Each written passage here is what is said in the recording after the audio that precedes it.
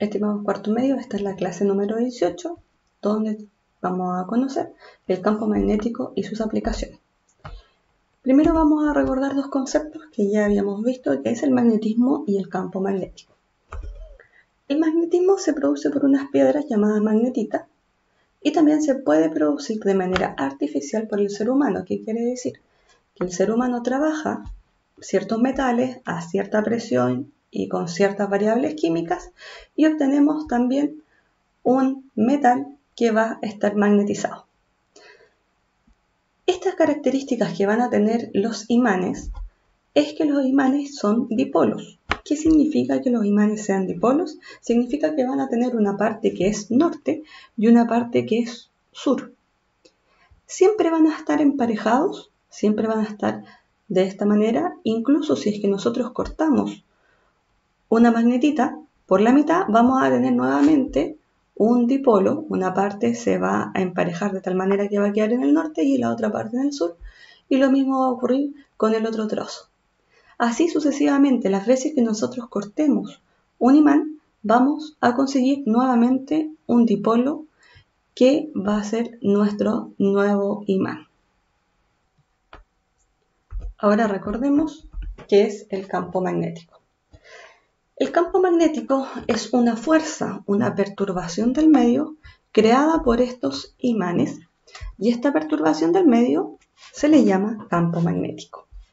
Este campo magnético eh, forma unas líneas de campo que siempre, siempre van desde el norte hacia el sur. Este campo magnético, o sea, estas líneas de campo que se pueden formar, tienen menos energía mientras más me alejo del imán y tienen mayor energía más cerca del imán. La unidad dimensional, como lo dice acá, es el Tesla. Y obviamente al lado izquierdo podemos ver imágenes que muestran un imán cómo va a perturbar todo el alrededor que tiene. Este alrededor son pequeñas fibras, eh, generalmente ferromagnéticas, limaduras de, fierro, etcétera, que son atraídas por el efecto de la imantación. O sea, se ven perturbadas y se muestra claramente las líneas del campo magnético. Tercer aspecto a ver es el campo magnético de una corriente eléctrica. Existe un experimento que se llama de Oested y este experimento consta en lo siguiente. Se puede observar acá una brújula y un circuito abierto, que quiere decir que es un circuito por el cual debería pasar corriente, pero como está levantada esta parte, se puede observar que el circuito se encuentra abierto. O eso quiere decir que no existe un paso de la corriente. La punta de la brújula está obviamente alineada apuntando hacia el norte, que sería nuestro norte geográfico. Pero cuando nosotros comenzamos a hacer el paso de la corriente en este experimento, ocurrido en 1820, cerramos el circuito como lo muestra en la siguiente imagen y la corriente empieza a pasar por este hilo eléctrico. Automáticamente se ve cómo la brújula empieza a girar y esto es porque el flujo eléctrico también puede generar un campo magnético. Eso quiere decir que el campo magnético no solamente es creado por las piedras de magnetita o por aquellos metales trabajados, sino, en tercera opción, el campo magnético también se puede crear por el flujo de corriente eléctrica. A continuación tenemos otro ejemplo donde se muestra cómo en primera imagen, en la imagen de la, tenemos un cable que es rodeado por brújulas. Todas las brújulas siguen apuntando hacia el mismo sentido porque obviamente apuntan hacia nuestro norte geográfico.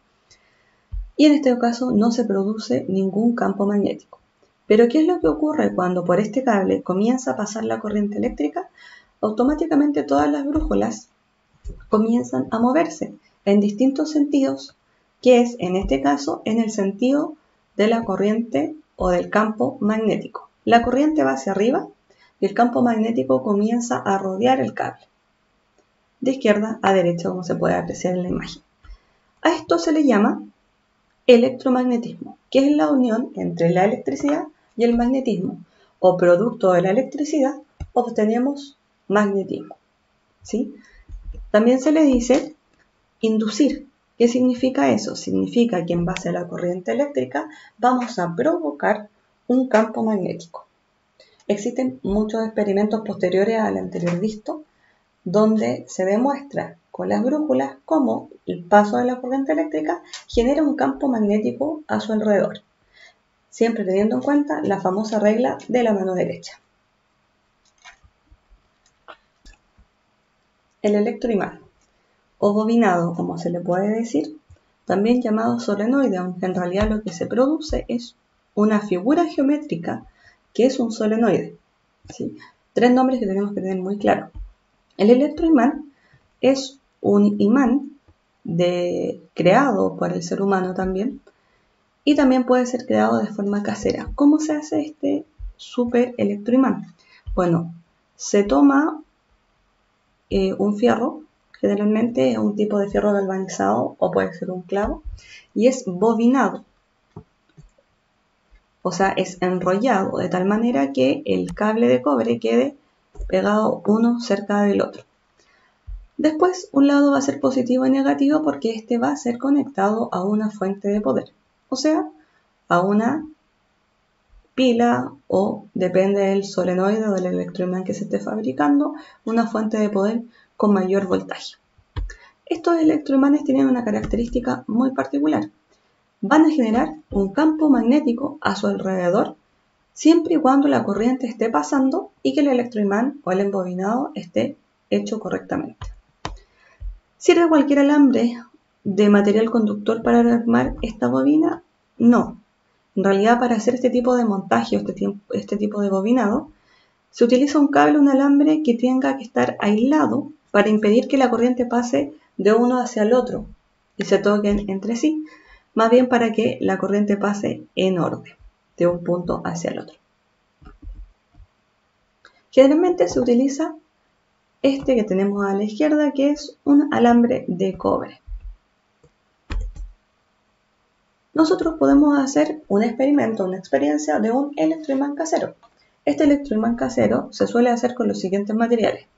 Tenemos un clavo, tenemos el alambre de cobre recubierto siempre tenemos otro clavo o podemos tener un clip, algún material metálico que sea atraído obviamente por nuestro imán. Y podemos también utilizar algún tipo de brújula.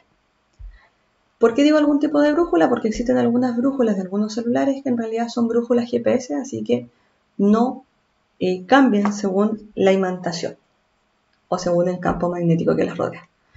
Luego de bobinar, de hacer esta forma solenoide, alrededor de nuestro clavo galvanizado, se conecta a una batería o se puede conectar una pila, pero la pila tiene baja, baja fuente de poder. Luego de eso, con un multímetro uno puede medir y ver cuánto es la corriente que está pasando desde un punto de inicio hasta el otro punto. ¿sí? Es importante también aislar en los bordes con algún tipo de scotch, algún aislante específico, una cinta adhesiva en los extremos para que podamos obviamente tener nuestro solenoide pegadito una hebra al lado de la otra. Los famosos electroimanes, también los podemos ver, sobre todo seguido, en una aplicación en los timbres de la casa. La mayoría de los timbres de la casa no están conectados continuamente a la corriente eléctrica, sino que más bien tenemos, aquí un ejemplo, tenemos la campana, tenemos eh, nuestro bobinado en la parte E, que se puede ver cómo está enrollado el cable, y tenemos obviamente el famoso botón que es el encargado de hacer la conexión. Es un puente que generalmente está abierto, no está conectado, por lo tanto no existe el paso de corriente continua, sino el timbre estaría sonando en cada momento. Y cuando nosotros decidimos pulsar el botón, nosotros decidimos pulsar el botón, lo que obtenemos obviamente es el paso de la corriente. Cada vez que pulsamos el botón, comienza a pasar la corriente. Cuando la corriente comienza a pasar, ocurre lo mismo que en el electroimán anterior. El electroimán comienza a formar un campo magnético a su alrededor, que es el que podemos ver acá. ese campo magnético lo que hace es perturbar a esta parte metálica, por lo tanto la va a alejar, la va a traer y cada vez que saquemos el botón la va a alejar, la va a traer, cada vez que saquemos el dedo del botón la va a alejar y así sucesivamente. Y ese juego hace que se pueda mover todo el brazo y que obviamente este brazo pueda golpear a la famosa campanilla produciendo el ruido tan característico que tiene el timbre. Campo magnético.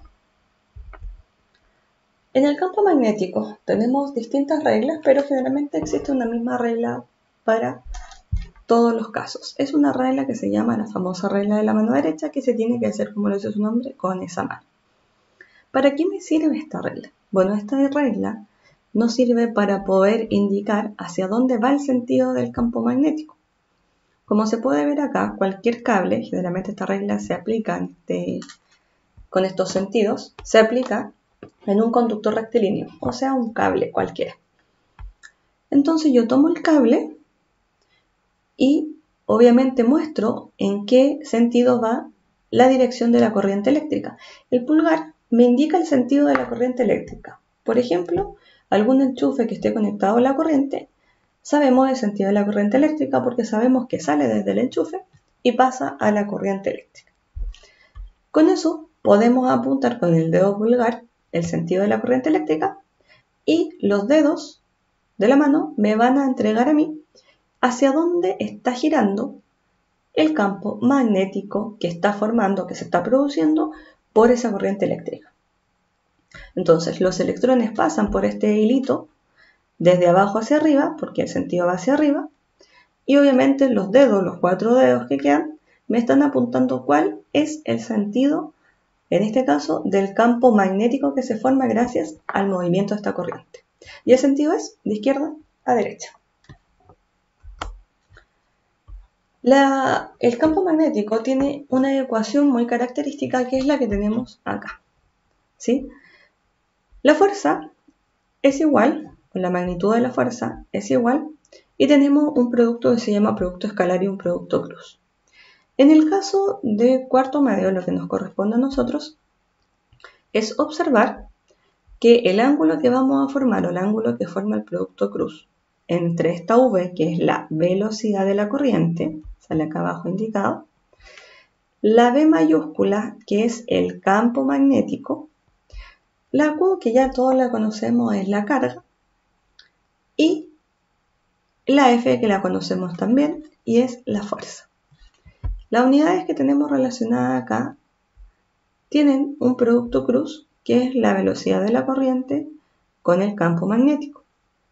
Este producto cruz tiene que multiplicarse por el seno del ángulo y el seno del ángulo que vamos a trabajar es 90 y seno de 90 es 1 así que la relación en este caso es para el método o para el tipo de cálculo que vamos a hacer es la magnitud de la fuerza es igual a la carga por la velocidad de la corriente por el campo magnético, como lo voy a escribir ahora. Así. Esto es netamente porque el ángulo que se va a formar es de 90 grados, como se muestra acá. Y el seno de 90 es 1. Así que esta sería nuestra ecuación del campo magnético a trabajar. Como ya sabemos las unidades, sabemos que la fuerza está en newton, sabemos que la carga se trabaja en coulomb, sabemos que la velocidad de la corriente, según el sistema internacional, está en metros partido en segundo, la unidad del campo magnético es la siguiente, newton por segundo dividido en coulomb partido por metros. Pero este nombre o estas unidades que se juntan son unas unidades muy largas, así que en ese momento adquirió un nombre muy distinto que fue obviamente uno de los científicos, uno de los científicos que trabajó mucho en lo que significa electricidad y magnetismo. Y ese es Tesla. Gracias y en honor a Nikola Tesla le colocaron un solo nombre a toda este menjunje o este junte de unidad y quedó como el campo magnético tiene una unidad única que es el famoso Tesla. Y como es un nombre, sustantivo propio, Tesla o la unidad se escribe con T mayúscula. Finalmente, para la regla de la mano derecha vamos a utilizar la siguiente imagen. El pulgar siempre va a representar nuestra velocidad de la corriente. La palma de la mano va a representar que va hacia arriba, forma un ángulo de 90 grados, va a representar la fuerza.